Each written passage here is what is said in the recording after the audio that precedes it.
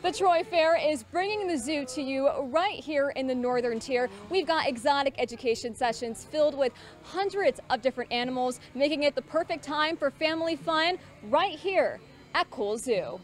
With a wide array of exotic friends, Cool Zoo offers a one-of-a-kind walk-through exhibit that's sure to excite any animal lover.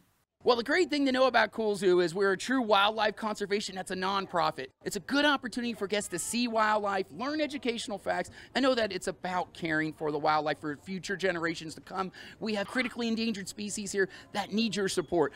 Cool Zoo also provides educational presentations to help connect audiences with each of the species, as well as share information on the zoo's conservation efforts. I think that they're just so cool and that they're really pretty to look at too.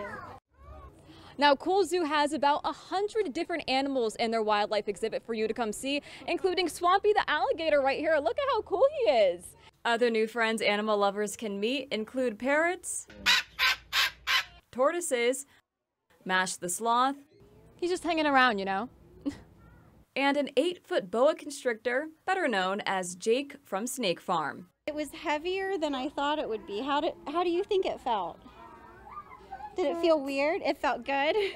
For DeBerry, seeing guests form special bonds with the animals is the most rewarding part of the job. You know, the great thing about animals, it connects the community and unite them together. So whether you're looking at a bird or whether you're looking at a reptile or a mammal, it's uniting people of all different walks of life. And these people care and they want to give back to help wildlife.